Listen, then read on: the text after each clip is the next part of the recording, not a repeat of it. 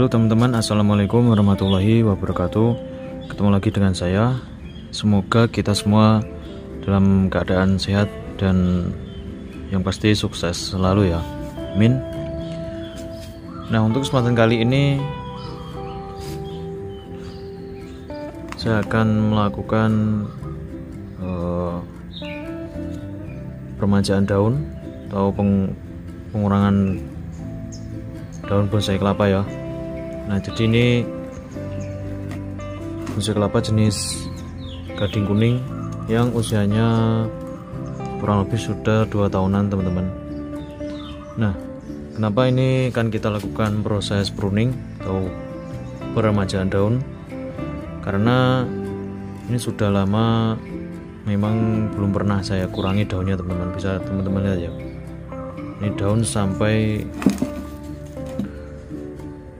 mengering seperti ini dan terlihat juga banyak sekali hama kutu putihnya ya. Jadi ini sudah waktunya kita melakukan proses peremajaan daun supaya pertumbuhan bonsai kelapa ini bisa semakin subur ya. Jika kita kurangi daun-daun yang sudah tua dan yang terserang hama seperti ini. Oke langsung saja kita ke prosesnya. Oke teman-teman kita siapkan seperti biasa ya ini pisau sayat. Dan kuas ini untuk menghilangkan kutu putih yang ada di daun yang masih bagus ya nanti. Jadi langsung kita pangkas saja seperti ini teman-teman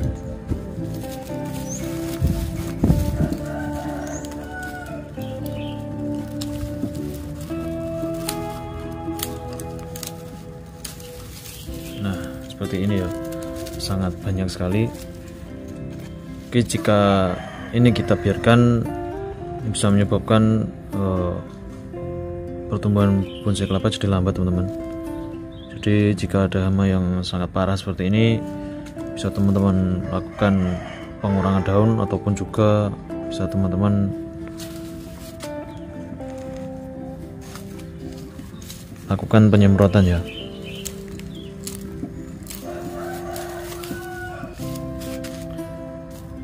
daunnya sangat lebat sekali teman-teman.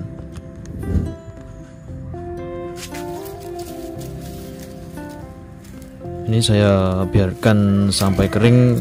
Ini juga ada tujuannya. Bisa teman-teman lihat hasilnya.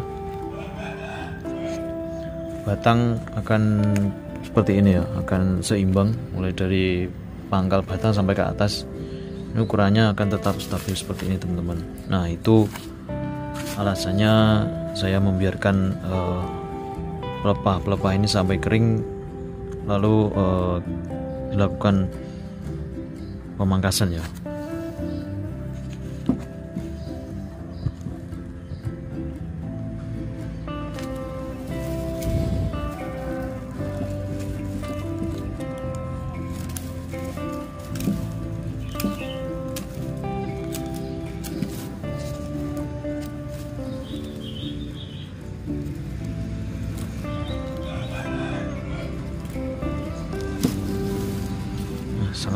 parah seperti ini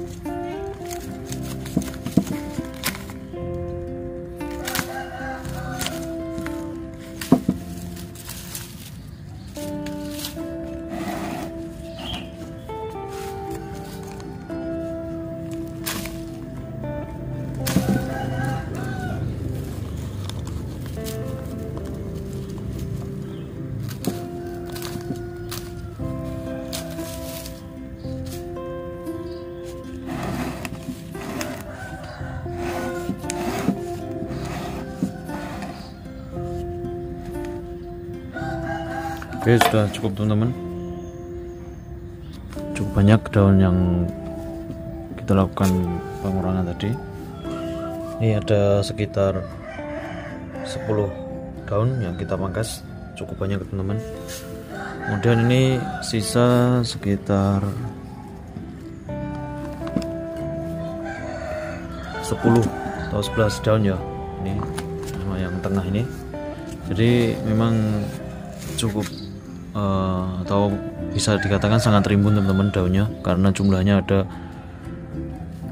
20 daunan itu sangat uh, rimbun ya. Masih terlihat rimbun sisa sekitar 11 daun. Oke selanjutnya kita bersihkan daun yang masih ada kutu putihnya seperti ini teman-teman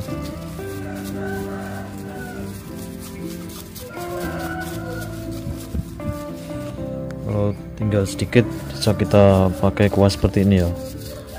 Kalau banyak kita lakukan penyemprotan pakai obat hama teman-teman biar cepat hilang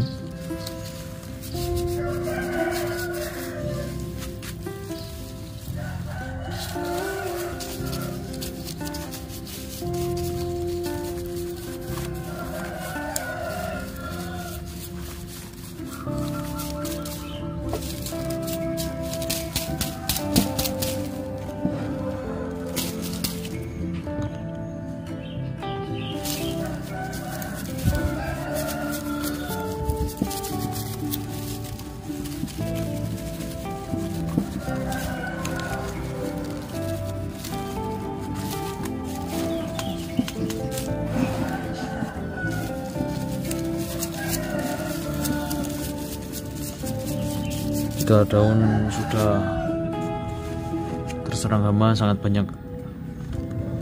Maka akan bonsai kelapa akan terlihat seperti ini teman-teman. Jadi lihat daunnya tidak mengkilat ya.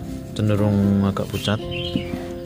Jadi setelah kita lakukan pembersihan dan pengurangan daun seperti tadi ini ke depannya pasti akan tumbuh jadi lebih subur teman-teman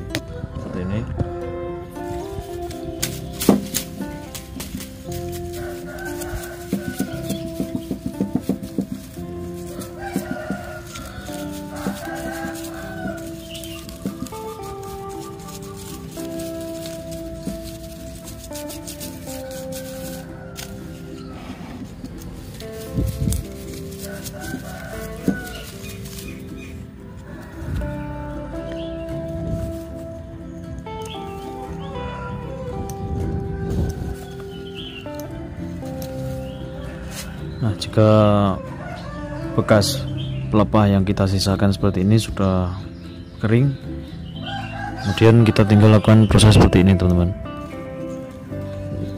Kita rapikan dan kita uh, bentuk ya batangnya supaya lebih rapi.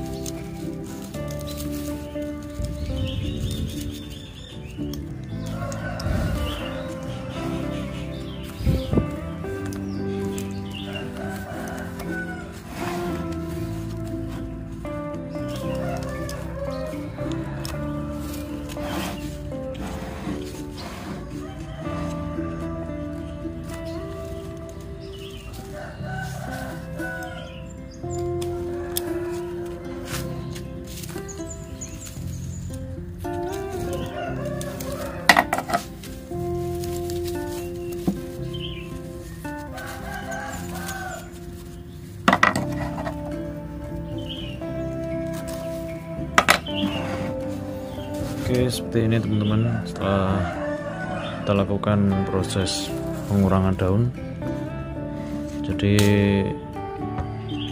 jadi proses permenjaan daun ya. Yang bertujuan supaya pertumbuhan bonsai kelapa nanti ke depannya bisa subur ya karena sangat penting teman-teman. Jika sudah banyak daun yang mengering itu harus kita lakukan pengurangan ya. Oke teman-teman. Cukup sekian untuk kesempatan kali ini. Semoga video yang saya berbagikan Video yang saya bagikan selalu bermanfaat dan menginspirasi teman-teman semuanya. Terima kasih sudah menonton. Jangan lupa like, comment, dan subscribe. Assalamualaikum warahmatullahi wabarakatuh.